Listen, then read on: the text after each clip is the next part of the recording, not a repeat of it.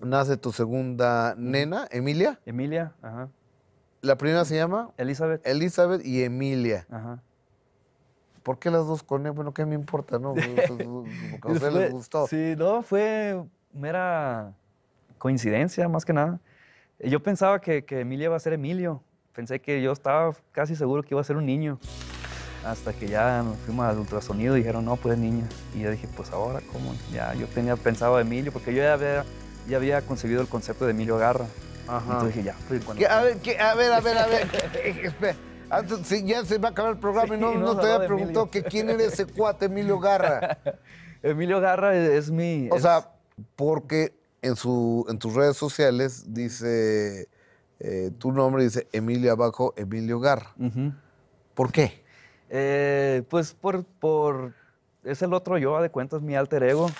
Eh, como te digo, pues yo siempre he sido muy fanático de todas esas cosas, los superhéroes y todo eso, entonces siempre me gustaba jugar con, con la idea de que es el, el lado oscuro de Régulo Caro, así como en la Guerra de la Galaxia. Ajá. El lado oscuro de Régulo Caro y, y, pues El Dark Side. el Dark Side. Entonces yo siempre decía, cuando, cuando dejé un poquito los corridos en los últimos discos, este, pues ya mucha gente me dice, ay, ¿cuándo va a regresar el régulo de antes, el régulo de antes, el régulo de antes y el de los corridos y que no sé qué? Y yo, pues, ah, pues es que ya me enfadé los corridos, dije, la verdad que ya no me llama la atención escribir corridos.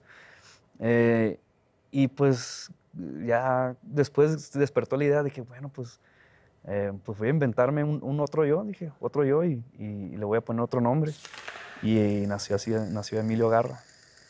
Emilio Garra viene de un personaje de, de- de las historietas de los X-Men eh, y de ahí saqué el nombre. ¿Y Emilio Garra qué le dice a Régulo Caro? Eh, y Emilio Garra de cuenta que es el proyecto que, que sigue después de Regulo Caro en, en- en- en tema de, pues de corrido, así como antes.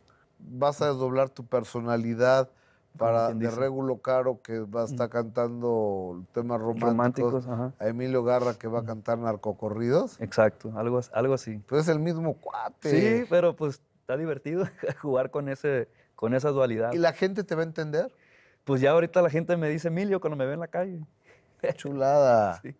Eh, fue, con- fue una estrategia de marketing que, que me funcionó. Y ya con todo esto de la biografía, pues ya la gente, pues para ellos ya soy Emilio y ya me dice, ¿y cuándo va a salir Emilio Garra?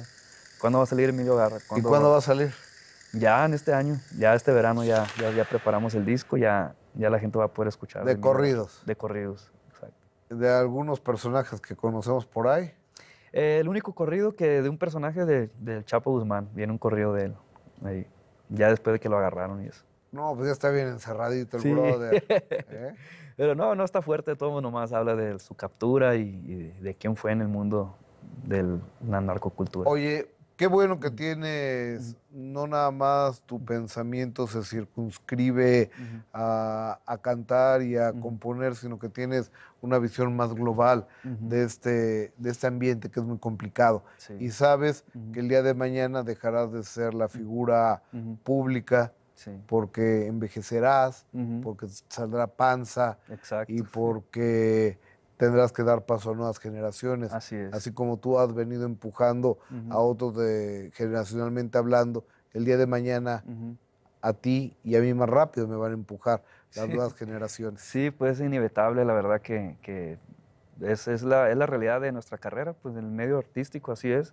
Entonces siempre hay que estar preparados y por eso yo en- a esta edad, a mis 37 años, dije ya soy suficientemente maduro como para ya decir "Ah, hasta aquí, cumplí con ellos y ya es momento de yo aprender cosas nuevas y, y eso es, mi mira al futuro, eso es.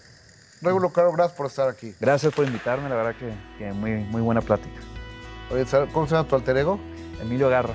Dame Emilio Garra. Claro, En el verano nos estaremos encontrando. Claro ¿no? que sí. ¿No le vas a poner un bigotito o algo para que lo No. diferenciemos? Pues a ver qué, qué me invento ahí. Gracias por estar aquí, Regulo Caro. Gracias. Él es Regulo Caro, yo soy Gustavo Adolfo Infante. Si Dios nos presta vida y usted nos presta su amable presencia, próxima semana, mismo horario, mismo canal, tenemos otro minuto que cambió mi destino. Muy buenas noches, muchas, muchas gracias. ¡Bravo! El minuto que cambió mi destino. Sábados 9 pm.